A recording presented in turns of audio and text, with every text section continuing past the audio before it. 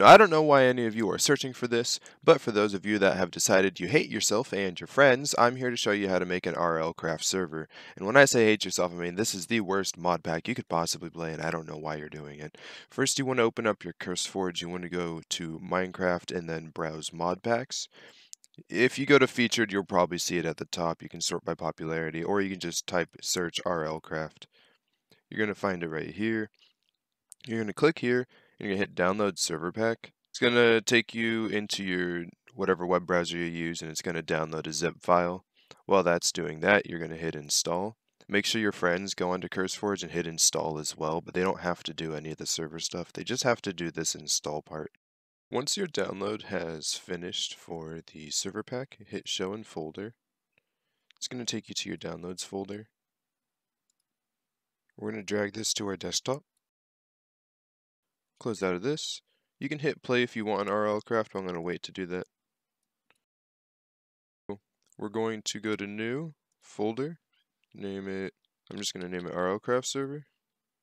I'm going to drag this into it. I'm going to right click, hit extract all, extract. We can actually delete the old zip now, so since we don't have, we don't need it, we just extracted everything. So if we open our RLCraft server folder, we have this RLCraft server pack inside of it. And in here we have the server files. Now there's a couple things we need to do, including get forge. So first off though, let's go ahead and set up the server file so that it'll be ready to run. For servers only, if you look in here, it says to change these in the server properties. So if you see a server properties file here, I can open mine. I'm not sure if you guys have the same program or not, but you might be able to right click and edit it.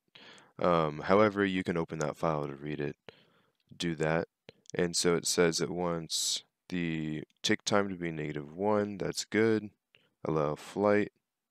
Got to make sure that is true. Find flight. Allow flight is true. Okay. That's good.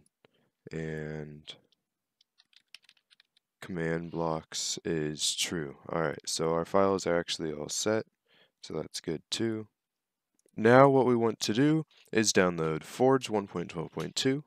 So I'm going to go into Chrome, then we're going to go to the Forge 1.12.2 download. I'm going to have it linked in the description for you. We're just going to download the latest with the installer. There's going to be an ad, just wait for the timer and then hit skip, and then it will download. Just hit keep. Once that is done, you can right click and go show in folder. Then we're going to drag this forge right down into here. I'm going to close out of here, run the installer. So when we select install server, it's going to ask us where we want to install the server. So we're going to change this to our server folder that we created on the desktop, the RL craft server. So we're going to hit these three dots, go to desktop, Alright, once you've selected desktop, you're going to find the RLCraft server.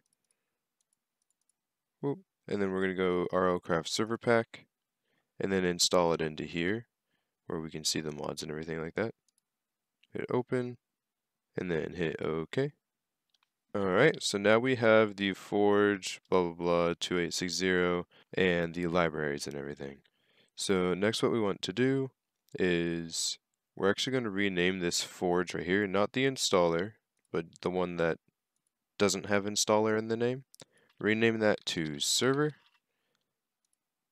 Alright.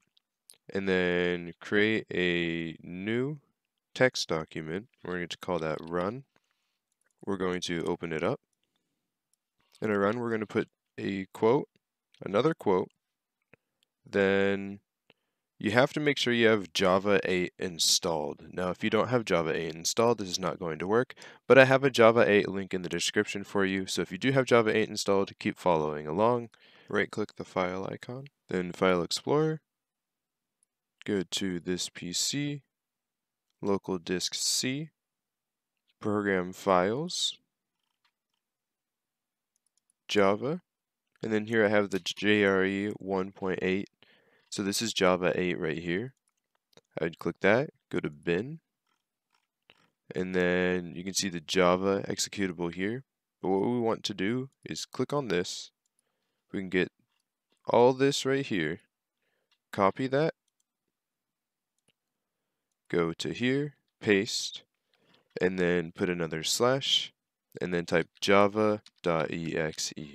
Now this will make sure that your server is using Java 8 because Minecraft 1.12 has to use Java 8 in order to run. And if you have the latest version of Java installed and Java 8, it's going to try to use the latest and not the correct version. Next, we need to allocate the amount of RAM that we want the server to have. So we're going to put a minus capital X M S, which is the starting amount of RAM that we want the server to have. So we're going to put 1 G for 1 gig of RAM, and then another minus, or a space, and then a minus. XMX, which is the max amount of RAM we want our server to have. And since this is a RLCraft server, you do want to have a lot of RAM. I would recommend if you're playing with your friends like 8 gigs of RAM, you could need more if you're seeing lag. So if you only have 16 gigs of RAM in your PC, 8 is cutting it close for hosting and playing. You could see issues. So if you do need a server host, guys, I do have an affordable and cheap one down below in the description, and you can save 25% code DecaCrafter. Um, but for the server, I would recommend around 8 gigs of RAM. So I'm going to put for the X here, 8 G, but you can try to run it with less. Again, it's up to you, but if you're starting to see lag and stuff, I would recommend getting a server host or having someone who has more RAM in their system run the server. Dash jar server dot jar. That's why we renamed the forge file. Uh, and then no GUI. And then we're going to go to file, save as. We're just going to save it run dot bat. We're just adding on to the name here and then hit save. We can close this. Close out of that. Now we have our run.bat right here. This is this is the cool part. So we're actually going to go into CurseForge and hit play now because we are going to start the server too. So we're going to run the server. Alright, it created a new file called EULA. We're going to change this to true. Alright, once we've done that, we're going to run the server again. Give it time to run. It's going to take a while. And if you do run into issues, you know you can reach out to me, hit me up on Discord or comment below. I try to respond to every single comment on all my videos. You can even check yourself if you want to see if I'm responding to people. Yeah, just shoot me a message and I'll respond to you as soon as I can. We're going to hit allow access. Oh, it looks like the server's done. Alright, so it's completely loaded up now. So we're going to hit play on Minecraft. Now, in order for your friends to be able to join your server, you do have to port forward. Since I have Xfinity, it's going to be very different from your port forwarding if you don't have Xfinity. However, I have two port forwarding tutorials in the description for you. For those of you with Xfinity, like me, where you have the app, I have a tutorial for you to port forward. And for those of you without Xfinity who have any other kind of internet, I have a separate tutorial for you for port forwarding. So go to the description, check those out, and then come back here, and we're going to move on to the next step. For those of you who are having it crash when you're trying to run it in CurseForge, or you want to allocate more RAM to it because it's not running well, let me show you how to do that real quick. We're going to go to CurseForge and go to My Mod Packs. Then we're going to go to RLCraft. We're going to click on these dots, go to Profile Options. So system memory settings, I have like almost 5 gigs of RAM, but this one needs a little bit more. So we're going to increase it to about 8 gigs of RAM, um, which you don't need to do that unless you're hosting a server. However, just for my single player, just for my sanity, I'm going for 8, so I don't have to worry about it crashing. Then you're good to hit play. Alright, now that your game is loaded and your friends are loaded and everyone is ready to play on the server, this is how you connect go to multiplayer, add server for all of your friends. The server name doesn't matter, but for your friends, the address is going to be your public IP. You can find that on canyouseeme.org here on the screen or you can find a link in the description. Friends will type that into the server address. Now, if you are hosting on your PC and you're not using a server host, so you're not typing in their IP, you're going to type in localhost, or you can quite literally just put a zero, and then you can name the server whatever you want and hit done. Hit join, once you and your friends are done torturing yourself by playing whatever the hell this is, head over to my channel so you can play a mod pack that doesn't suck.